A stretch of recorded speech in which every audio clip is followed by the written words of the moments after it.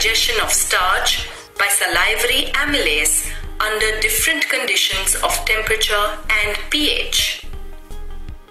Requirements Human saliva, 1% starch solution, 1% sodium chloride, 1 normal hydrochloric acid, 1 normal sodium hydroxide solution, iodine solution, conical flasks, test tubes, water bath, etc.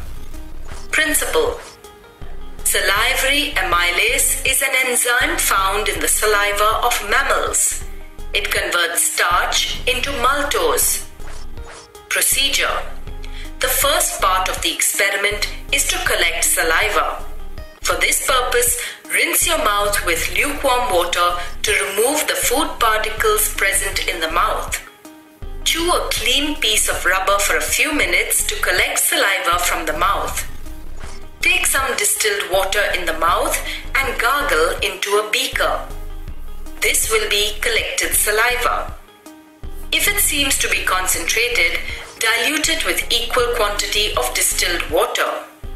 This saliva contains salivary amylase and hence we can call this a salivary amylase solution. Now we shall perform the test. Take about 50 ml of starch solution and equal quantity of salivary amylase solution in a conical flask.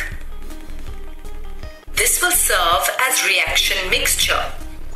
Keep the conical flask in a water bath at 38 to 40 degrees centigrade.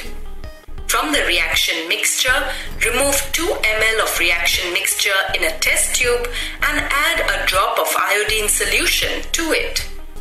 This is called testing with iodine solution. Note the time. This is initial reading, also called zero minute reading. Note, iodine imparts blue color to starch. Later, at the interval of every 5 minutes, take 2 ml of reaction mixture in a test tube and test it with iodine solution.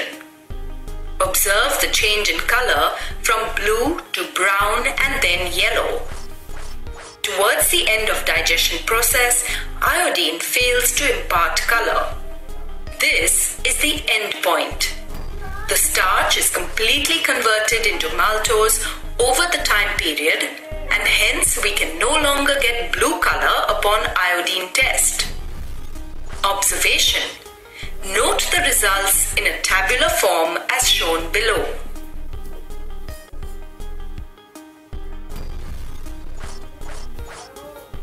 Test for maltose.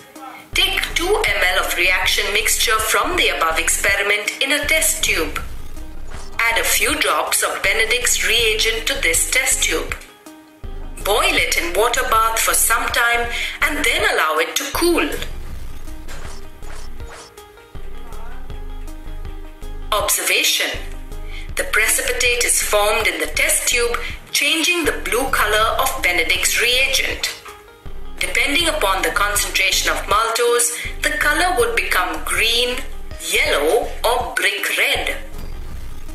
Conclusion Starch is digested to maltose by the action of salivary amylase. Maltose is disaccharide and thus gives positive test with Benedict's reagent. Effect of temperature on the action of salivary amylase. For understanding the effect of temperature on the action of salivary amylase, you will have to initially collect the saliva. Follow the procedure described in the previous experiment and collect the saliva in the beaker. For further experiment, follow this procedure. Take three conical flasks and label them as A, B, and C. To each of the flasks, add 18 ml of starch solution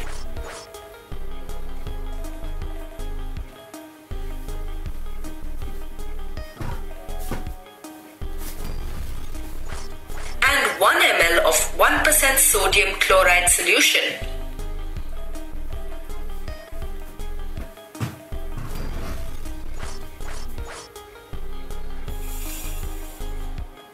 Add 1 ml of salivary amylase solution to each of the flasks.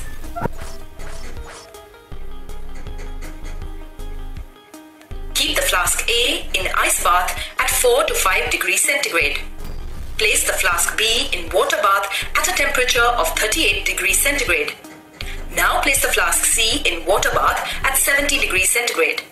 Take 2 ml of sample from each flask and add 1 drop of iodine solution to it to test the presence of starch in it.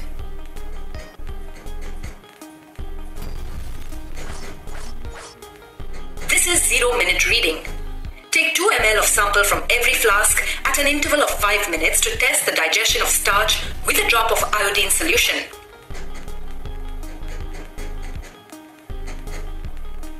Record your observation of color change in the table given below. Observation table. Result. The digestion of starch takes less time at 38 degrees centigrade. This is because the enzyme is most active at this temperature. Whereas in other two flasks, the enzymatic activity does not take place. The flask A is in ice bath. At such low temperatures, enzymatic activity does not take place. The flask C is in water bath at 70 degrees centigrade. Such high temperature too destroys the enzyme. On the contrary, the flask maintained at 38 degrees centigrade shows enzymatic activity due to its optimal temperature. Effect of pH on the action of salivary amylase. In the last part of this experiment, we shall study the effect of pH on the action of salivary amylase. For the saliva sample, collect the saliva in the same way as you had done before. Procedure. Take three conical flasks and label them as A, B and C. To each of the flasks, add 18 ml starch solution and 1 ml of 1% sodium chloride.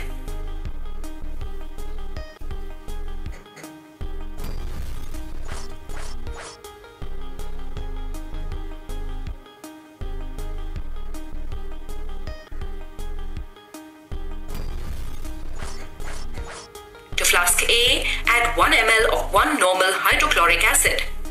To flask B, add 1 ml of distilled water. To flask C, add 1 ml of 1 normal sodium hydroxide. Add 1 ml of salivary amylase solution to all the three flasks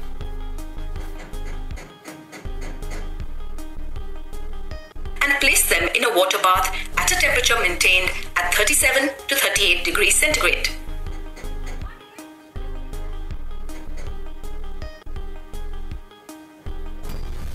Take 2 ml of sample from each of the flasks and test them with a drop of iodine solution for the presence of starch. This is initial or 0 minute reading. Take 2 ml of sample every 5 minutes to test the presence of starch with a drop of iodine solution.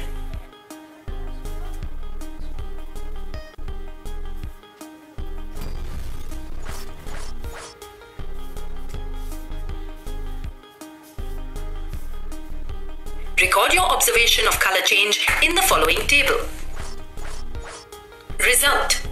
The digestion of starch occurs effectively when the pH of medium is 6.7 to 7. Saliva in mouth has a pH range of 6.2 to 7.4. The optimum pH for salivary amylase makes the reaction occur effectively in flask B than in flasks A and C.